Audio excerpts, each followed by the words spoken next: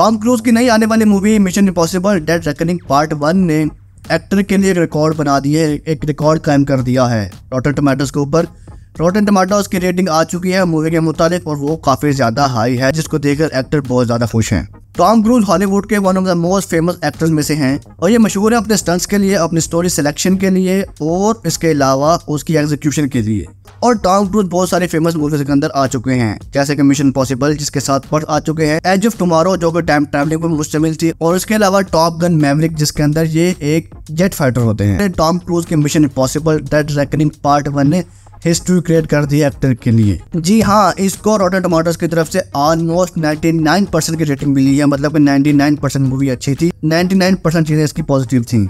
अगर हम बात करें, वो रेटिंग अब जाकर 97 परसेंट पर आ चुकी है, जो कि एक टाइम पर 99 परसेंट तक भी गई थी। अगर हम बात करें, ये रिकॉर्ड टॉम क्रूज के लिए सबसे पहले मिशन पॉसिबल फॉल आउट के लिए था जिसको ऑलमोस्ट 97 परसेंट की रेटिंग मिली थी, लेकिन इसको 99 परसेंट की रेटिंग मिली है। हालाँकि ये मूवी कंप्लीट नहीं है, इसका सिर्फ़ एक पार्ट आया है, लेकिन इस एक पार्ट को भी लोगों ने इतना ज़्यादा पसंद किया है। इसके अंदर टॉम क्रूज और डायरेक्टर भी एंडिंग को लेकर थोड़े परेशान थे कि लोग इसको पसंद करेंगे या नहीं करेंगे, लेकिन लोग इसको पसंद कर रहे हैं। अगर हम बात करें कि बाकी मूवीज़ को कितनी रेटिंग मिली है टॉम क्रूज की टॉप वन पर हमारे पास है Mission Impossible Dead Reckoning Part One ninety पर, उसके बाद हमारे पास आता है Mission Impossible fall out 97 percent पर। उसके बाद है टॉप गन मैवरिक 96 परसेंट पर। नंबर फोर पर हमारे पास है मिशन इम्पॉसिबल रॉग नेशन 94 पर। उसके बाद है Mission Impossible Ghost Nation 93 percent पर।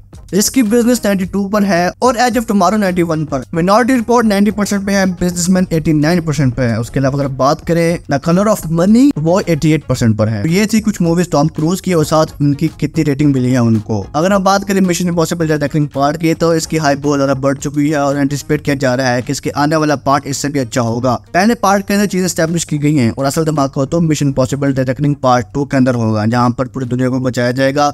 कुछ नए लोग भी शामिल होंगे, बहुत ज़्यादा मज़ा आएगा। आप इसके बारे में क्या सोचते हैं, कमेंट्स में ज़रूर रहेगा और चैनल को सब्सक्राइब कर लीजिए। जी हाँ सब्सक्राइब करें।